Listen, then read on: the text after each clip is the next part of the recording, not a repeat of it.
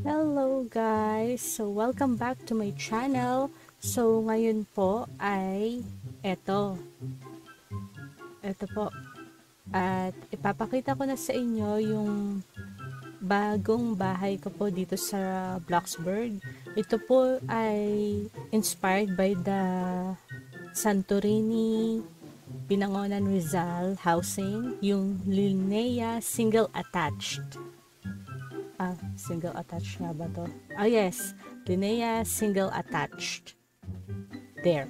Okay, so tingnan po natin siya. I tried my best po talaga para ito ay magaya based dun sa model unit ng Linnea. And I did some modifications here para mayroon siyang gate kasi uh, sa pagkakaalap ko, wala pa silang gate doon.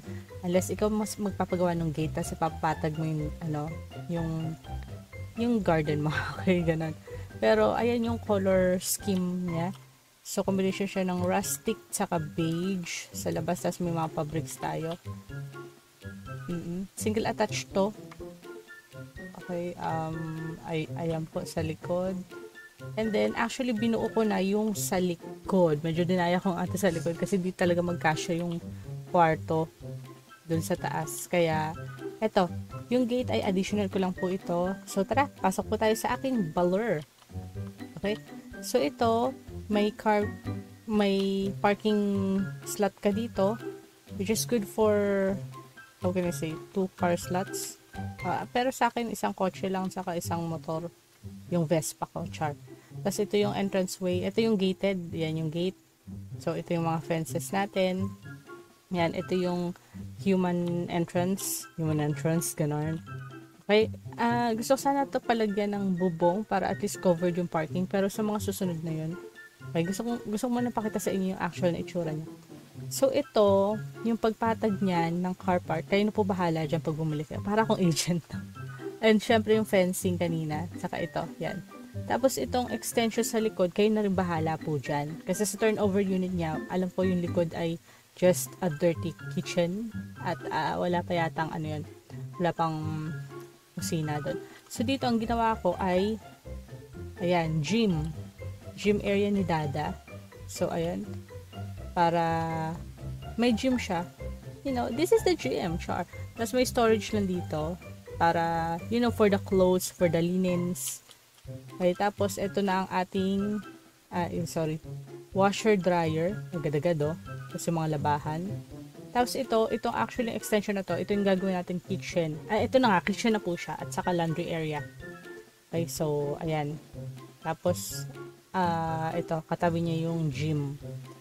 Okay, so yung kitchen natin ay wala namang pinagbago dun sa kitchen nung nakaraan. Aside from kumunti siya, right? Wala na tayong bar stools, pero syempre nandito pa rin si dishwasher kasi importante yan. Tapos, ayan. Ayan lang po. Ay, palinis natin nandiyan. Wala na siyang storage na eklavo. Okay? Tapos, ito, may door ka dito papunta sa iyong uh, dining area. Okay, ngayon nalibot ko na kayo dun sa extension, puntahan na natin yung main entrance. Ito, may sliding door dito para sa patio. Yan, yes, good morning. Ah, wait, pakita ko sa inyo yung taas. Yan, ganyan. Two-story to, three bedrooms. Char! Pwede na siguro ako mag-realtor, no? So, ayan yung facade niya. I know the terms, eh, char. Okay, so, makikita nyo rin dito, may pa-windows ka dyan na vertical. Okay pa. So, ayan, may bubong. At may CCTV to. Nilagyan natin yung CCTV yan. Dalawang CCTV. Okay. So, initially, mm, let me just close. Ay, lock. Yeah. Okay, okay. Alis ako kasi naka-automated yan.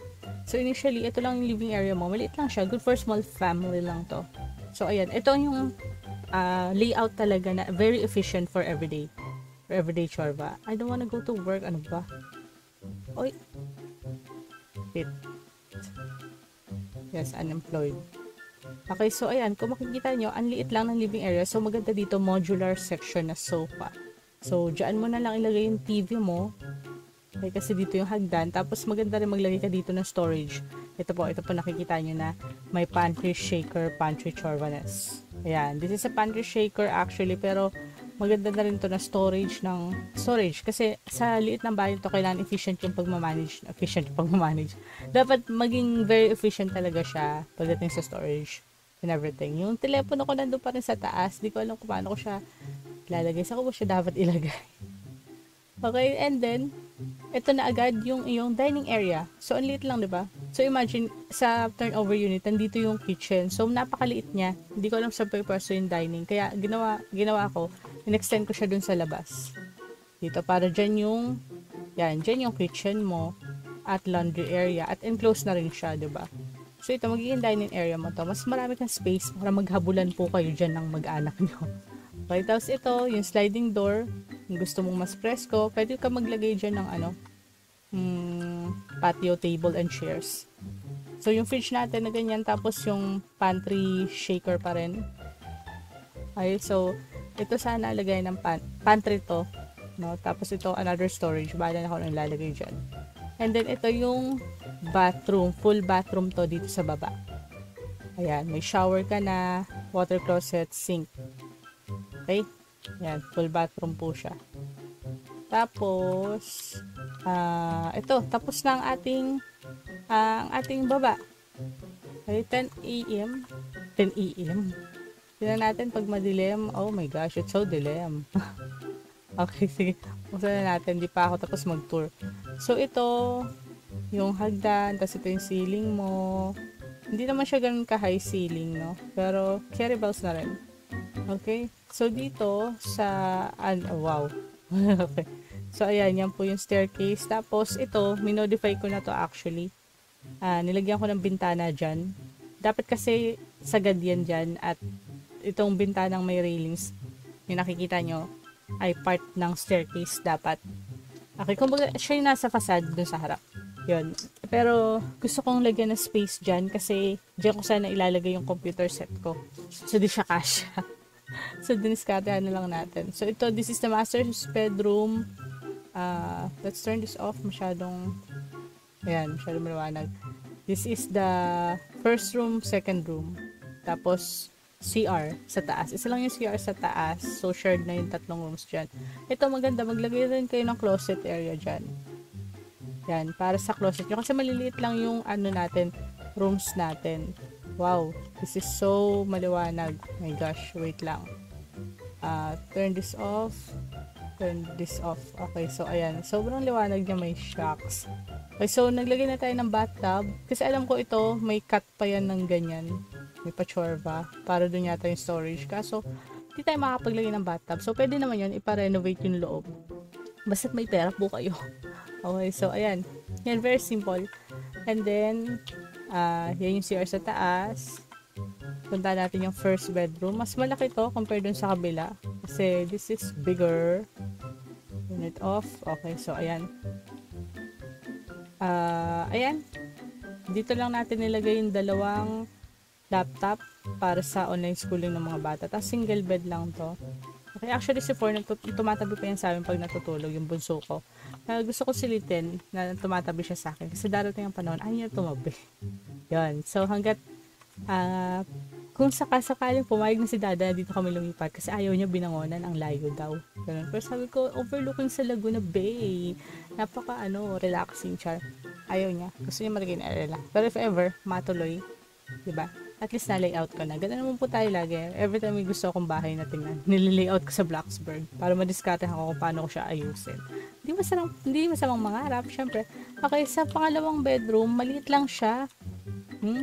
Single size bed lang malalagay mo dyan. It's up to you kung gusto mo maglagay ng overhead storage para sa storage niya. Pero, it's so small. Ayan po. Ganyan lang po siya. Okay? Hmm, mas maliit. Yan, kwarto yan ni Bea kasi gusto niya talaga may solo. Okay, now let's move dito ito na yung master bedroom. Okay, close lang natin.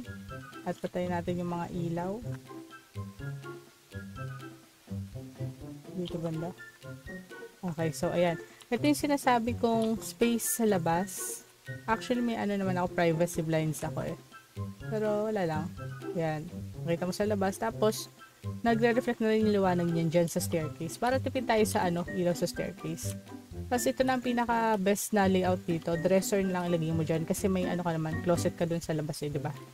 Hallway mo dyan sa second floor. Tapos dito, ang laki kasi nitong unit ko talaga na to. No? So 400 BS yan, char. Tapos TV, then queen size bed. Yan lang. Ganyan lang po siya. De-design ako pa to syempre. Uh, masyadong bare yung walls. So, bahala na kung anong ma-design ko sa kanya. Sa mga susunod na pa, na, mga susunod na kabanata po. Okay? So, ayan. Ganyan lang siya. Ganyan lang siya kaliit. Kung tutusin, napakaliit nitong bahay na to. At kayang-kaya to ng, considering the price, sana ganito pa rin yung price nila. 2 million lang, no? Wow. Sabagay, province of Rizal. It's a province. Okay. Um, ayan. Uh, subdivision naman siya. Hopefully, secured. No, alam niyo naman, sa ano binangonan ay medyo, ano, wala, wala lang. okay. So, ayun. Ganun po yung diskarte kung paano siya, uh, paano mo gagawing efficient yung space. Okay. Sa turnover unit kasi ay hindi pa talaga siya ayos at talagang mm, bear talaga no bear okay? pero at least ito may idea na po kayo yung makakuha po sa binangonan Rizal sa may Santorini uh, lalo na yung Linnea single attach nila okay so at least may ano na kayo idea, idea na kayo kung paano siya palalakihin yung space niya okay ayun po so ayan yan lang po ang ating uh, tour dito sa bahay natin na inspired by the Linnea.